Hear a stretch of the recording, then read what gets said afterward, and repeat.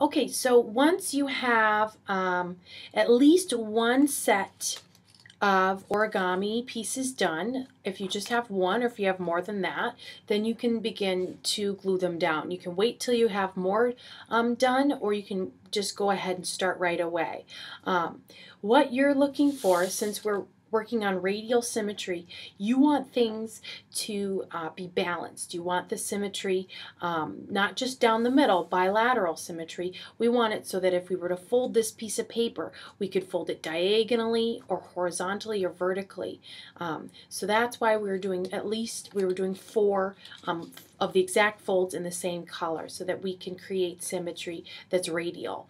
Uh, so when you start, I drew the lines on mine so you could see them, but what you can do if you don't want to draw them is you can just fold the paper diagonally both ways and uh, vertically and horizontally so you, you can see those folds. I I drew them on there so you could see them a little bit better.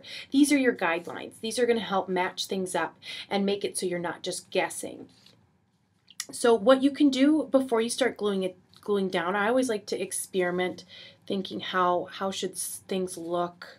You know, what way would I like best? Should they all be right touching in the middle or should they be spread apart? I'm going to go ahead and do um, them so they're squares so that um, these points right here are lined up with the vertical and the horizontal lines. So um, they actually make a little square in the middle.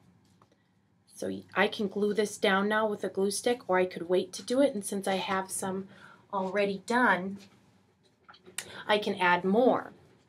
So I've got these maybe um, and then I have these they almost look like little um, swans floating.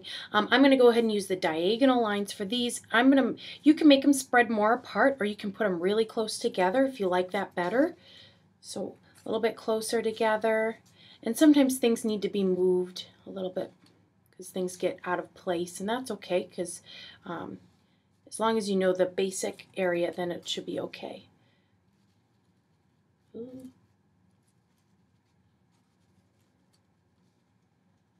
Okay, there, that's pretty close, a little off. There. Um, and then I have one more. I'm going to go ahead and add these to the vertical and horizontal lines. So remember, the key is if you place it on the vertical and horizontal lines, then there should be one on each. If there's on the diagonal lines, then there should there should be one on each as well.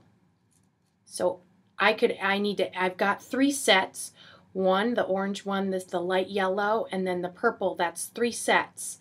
What I need to have is two more to complete my radial symmetry, at least two more. Um, so I'm always making sure that things are lined up, either on the diagonal lines or on the, the vertical and horizontal lines, so that everything is looking more um, radial.